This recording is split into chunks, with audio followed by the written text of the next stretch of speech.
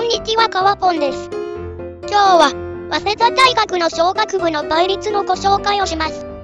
小学部は、2020年度までは、選択科目は、地歴公民、数学は、すべて同じ土法で、得点調整されていました。定員も同じ枠組みです。しかし、2021年度は、定員が、選択科目によって、地歴公民型と、数学型に分かれました。定員は地歴公民型が多いですが、数学受験が融通された措置と見ていいでしょう。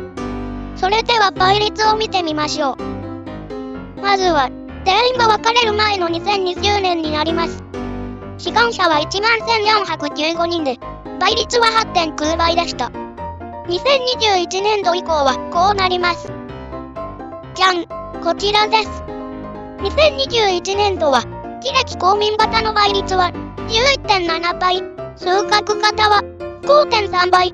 2022年度も同じような具合で、地歴公民型の倍率が11倍、数学型が6.2倍となります。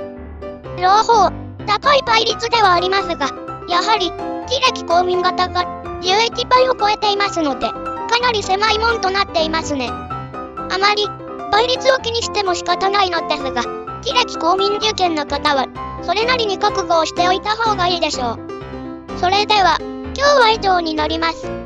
ありがとうございました。